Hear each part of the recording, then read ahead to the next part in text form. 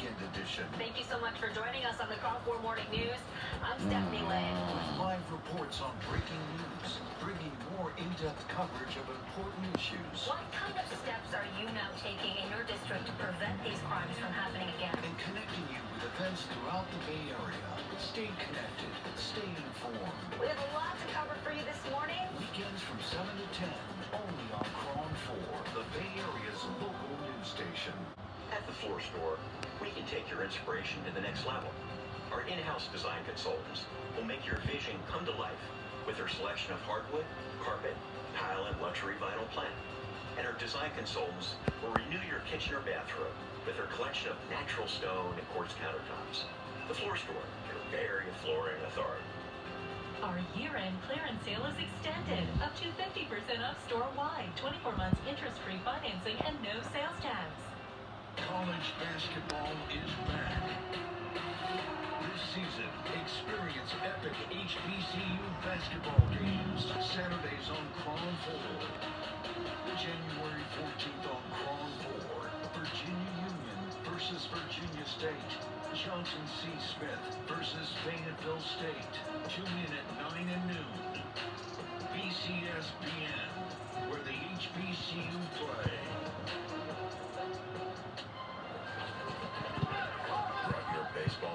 To basketball practice and turned out to be football practice.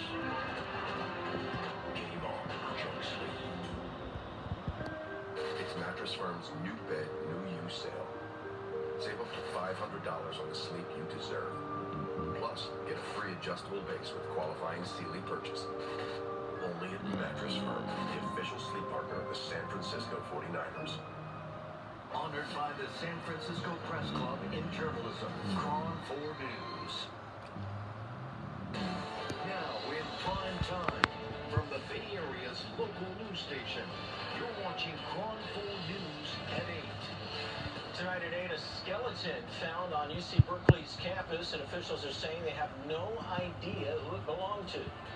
Also, more than a dozen people have been evacuated in Marin County after mudslides and debris swamped their apartment complex.